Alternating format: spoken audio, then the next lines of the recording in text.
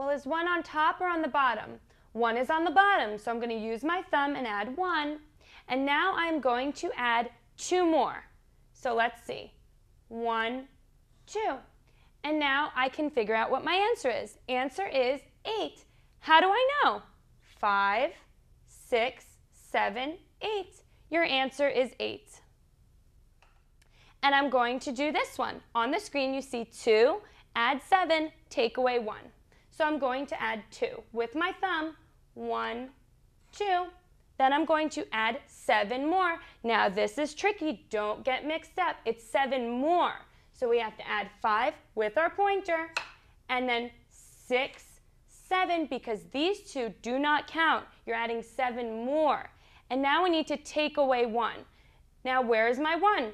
Of course, it's right down here. You just take one right away with your pointer finger, take away one. And then what is our answer? Let's count. Five, six, seven, eight. Our answer is eight. Let's try another one.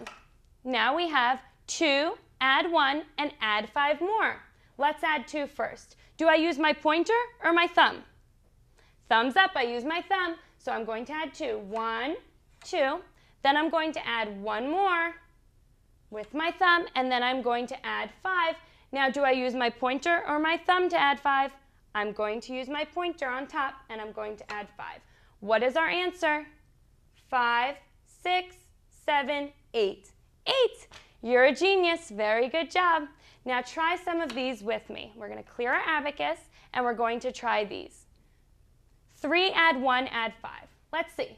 Three, add one more, and then add five with your pointer. Answer is nine. Very good. Five, six, seven, eight, nine. You're so smart. Let's try the next one. Five, add one, and add two more. One, two. What's our answer? Five, six, seven, eight. Very good. You're getting it. Now let's try this one. Now here's a tricky one because there's a takeaway. So we need to try this. Let's see. Five with our pointer. Add one with our thumb. And now there's this little dash there. What does that little dash mean? It means takeaway. That little dash on your screen means takeaway. So we're going to take away one from the answer bar. And our answer is five. So easy, very good. Let's practice taking away a little bit more. We're going to do seven first, five, six, seven, and I love how you're using your fingers the right way. Now we're going to take away two, one, two, and we are going to add one more, one. Excellent job. What's your answer? Five, six. That's right. Very good. We're going to clear our abacus, and the last one we're going to do is a little bit tricky, so don't get stuck.